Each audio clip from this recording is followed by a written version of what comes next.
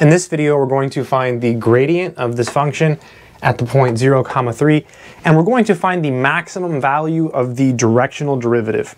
So let's start by finding the gradient. So the gradient is the vector of the first order partial derivatives.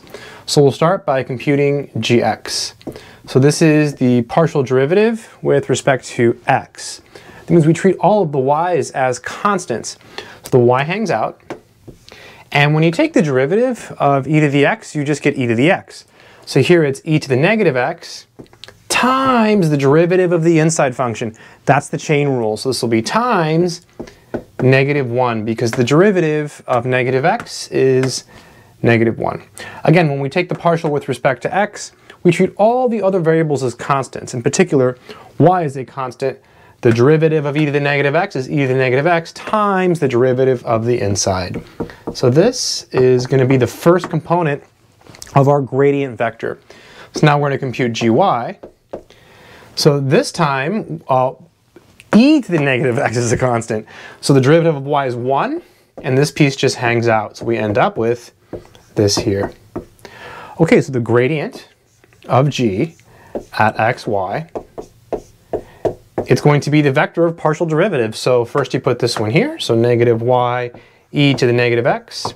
And then this one goes here. So this is e to the negative x. Good stuff. We want the gradient at 0, 3. So the gradient vector of g at 0, comma 3. The notation is really important. It's really important that you, you, know, you put the 0 and 3 here when you plug in the numbers. So x is 0, y is 3. So it'll be negative 3 e to the 0, and then e to the 0 e to the 0 is 1.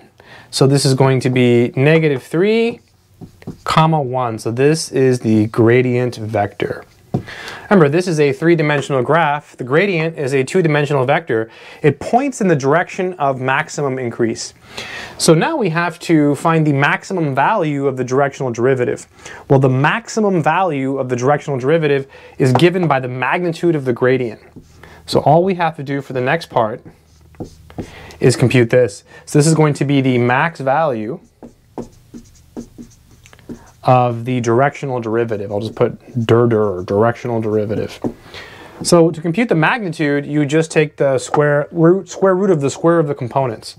So it'd be negative 3 squared plus 1 squared. So it'd be 9 plus 1.